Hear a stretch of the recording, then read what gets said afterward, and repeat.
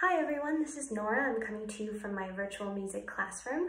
Um, so today I thought we could do a fun ear training exercise. I know ear training in music can be kind of daunting sometimes, uh, but this is just sort of a fun way to mix it up a little bit. What we're going to be doing is working on um, intervals within a major scale, um, and then some musical shortcuts that we can use to help us recognize those different intervals. So in the musical major scale, um, we can use solfege, which is the do, re, mi, fa, sol, la, ti, do, or if you use numbers, it's one, two, three, four, five, six, seven, eight to uh, represent our octave. So in an octave, it would sound like do, re, mi, fa, sol, la, ti, do, ti, la, sol, fa, mi, re, do. So that's the basis of our major scale that we're gonna be using today. So the first interval that we're gonna be starting with is a major second. So a major second in solfege would be do to re, or in numbers, it would be one to two. So it sounds like this.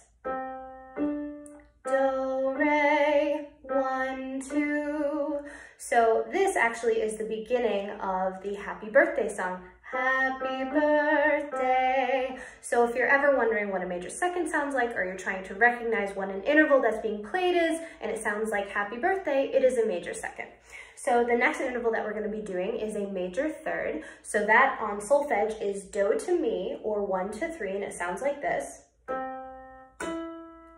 So that, in um, music terms, is actually gonna be uh, Oh, when the saints come marching in.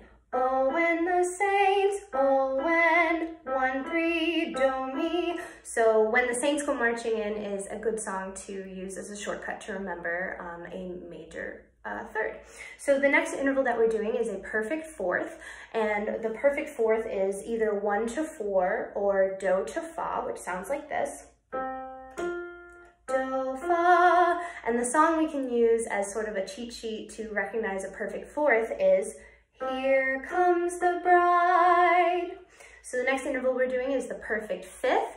Um, this is one to five or do to so, and it sounds like this. Do, so, one, five. And that actually sounds like another very popular song, which is Twinkle, Twinkle, Little Star. Twinkle, twinkle. So that's a song that we can use as sort of a cheat sheet for um, the perfect fifth. The next interval is the major sixth, and this uh, is do to la, or one to six, and it sounds like this. Do, la, one, six. And this um, can be recognized by actually the NBC network theme song. NBC. So it is the N to the B of the NBC song. The next interval we're doing is the major seventh, um, and this is do to ti or one to seven, and it sounds like this. Do, ti. So a song that we can use to recognize this interval is Take On Me. Take is the Take On Me song. And then the last interval we're gonna be doing is an octave, which is the bottom do to top do, and it sounds like this. So how we can recognize that is actually with the song Somewhere Over the Rainbow is an octave. Somewhere in the beginning of Somewhere Over the Rainbow. So those are a few little shortcuts that we can use to recognize different intervals within the major scale. So a major second is Happy Birthday. A major third is Oh When the Saints Go Marching In. And then a perfect fourth is Here Comes the Bride. A perfect fifth is Twinkle Twinkle Little Star. And then a major sixth is the NBC theme song. And then a major seventh is the Take On Me song. And then an octave is Somewhere Over the Rainbow.